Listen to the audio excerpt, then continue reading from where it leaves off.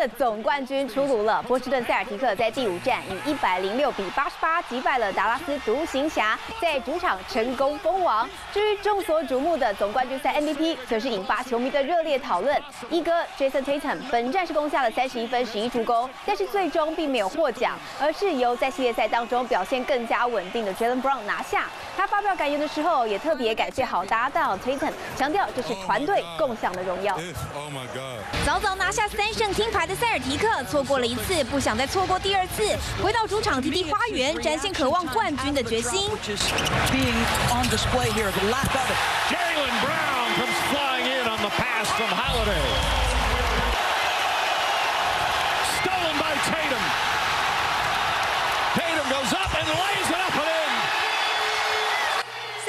第一节已经取得双位数的领先，整场比赛也靠着防守压制以及团队攻势保持领先。半场这颗压哨球，气氛就像是提前庆祝封王。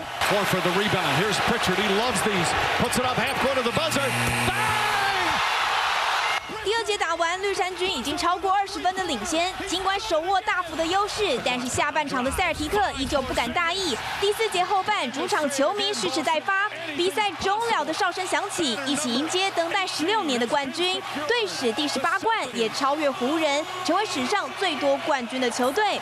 拿到梦寐以求的冠军金杯是什么感觉？Oh my God! It's oh my God!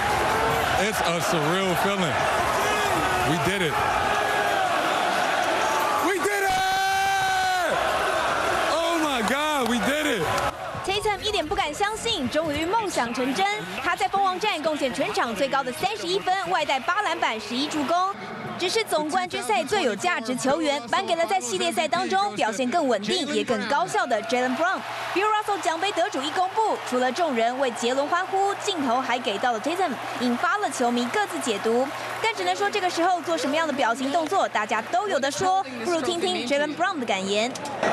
It was a full team effort, and I shared this with my brothers and my my partner in crime, Jason Tatum. He was with me the whole way.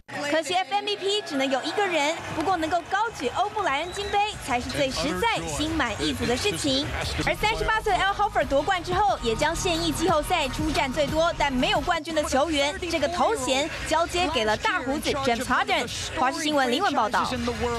Hello，大家好，我是林文。想要抢先掌握最及时的新闻资讯吗？赶快订阅、按赞、开启小铃铛，锁定华视新闻的 YouTube 频道。